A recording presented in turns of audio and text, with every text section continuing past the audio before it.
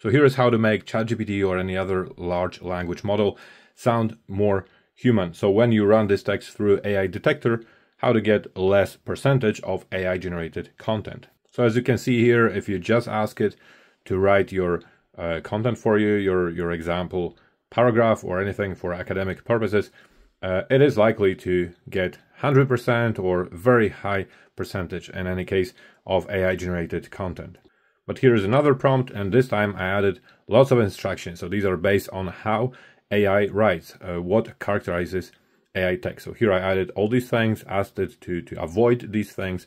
And as you can see, the result is completely different. Now feel free to use the same prompts, copy and paste them. I share them on my uh, post on my YouTube channel. Just go that channel, copy and paste. They also come from my ebook in which I uh, share 84 prompts that you can use at different stages of your uh, dissertation writing.